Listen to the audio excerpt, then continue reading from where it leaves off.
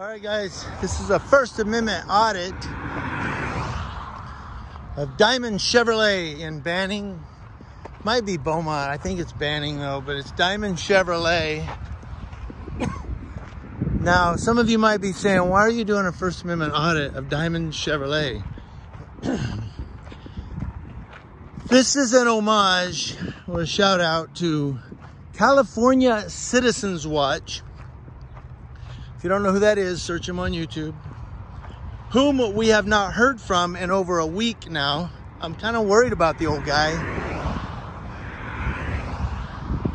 I don't know. I'm wondering if they violated his probation and hauled him in. Or maybe he had a heart attack. Let's hope not. I mean, I'm, I hope he's not, you know,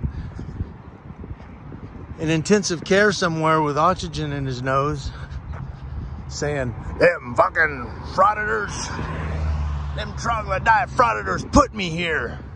I'll knock them the poop out. But uh, so I thought I'd come by here. I'm on my way to pick up wifey from work. Thought I'd swing by and do a quick First Amendment audit in honor of California Citizens Watch who has said multiple times,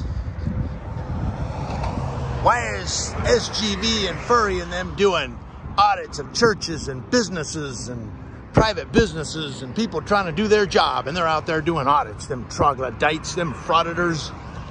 So this is kind of a shout out to good old Chris.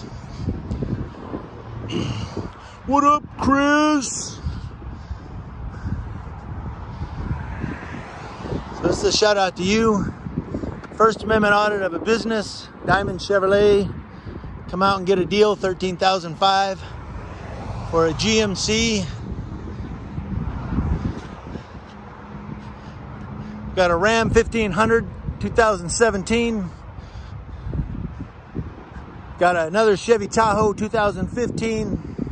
The cars are here, the prices are good. If you want a better deal, go see Jim. If you want a better deal, go see Jim. He'll slap you in the face while he records you from his space. Look at Jim, look at Jim, look at Jim. Me and my dog cop. There you go. Do not walk on slope. Yeah, you'll bust your ass.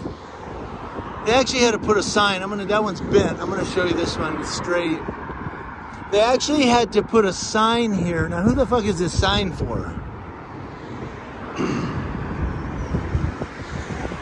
who the hell is going to walk up this thing right here? You'd fall and bust your ass. You know, some dumbass tried it, probably more than once. And they said, you know, put signs out there. Just don't walk up that.